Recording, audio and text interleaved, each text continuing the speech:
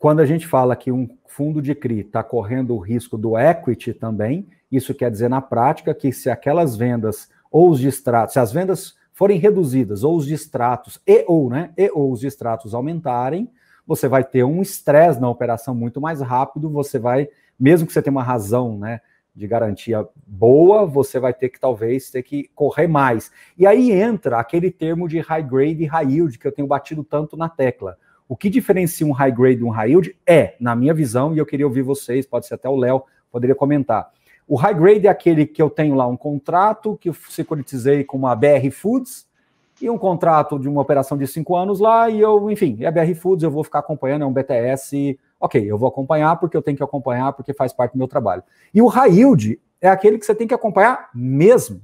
Ou seja, você não pode tirar o olho. Acho que o que caracteriza high yield e high grade não é só taxa. Muitas vezes as pessoas falam só da taxa e esquecem que, na minha visão, o acompanhamento é o que vai definir o nível do risco, da exposição ao risco. Concorda, Léo? É, eu, eu, eu, acho que esse te, o termo ele, ele é um pouco subjetivo, né? É, eu, eu, diria para você assim, é, onde onde está o recurso do investidor aplicado, ele precisa olhar e acompanhar, né? É, mas a, a, questão do, e eu acho que as pessoas fazem uma confusão nessa questão do high yield e high grade, porque na verdade olha um fundo high yield e automaticamente entende que ele é low grade.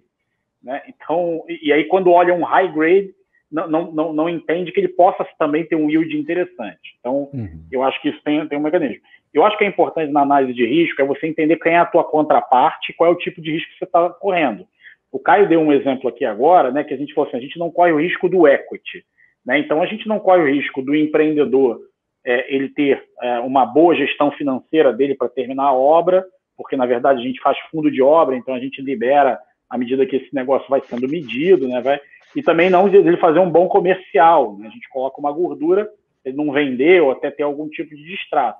Então, quando você olha o perfil de risco que você vai para o fundo, eu acho que você tem muito mais condições de dizer se o negócio é high grade ou low grade, e para aí você comparar com o yield, né?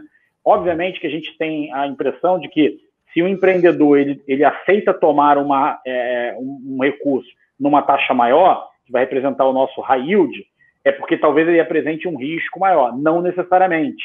Porque às vezes esse empreendedor, muito do que a gente olha aqui, que está no interior, que tem pouco acesso ao mercado de capitais, ele toma uma taxa maior por falta de acesso, por falta de crédito para ele, e não necessariamente porque ele representa um risco maior, entendeu?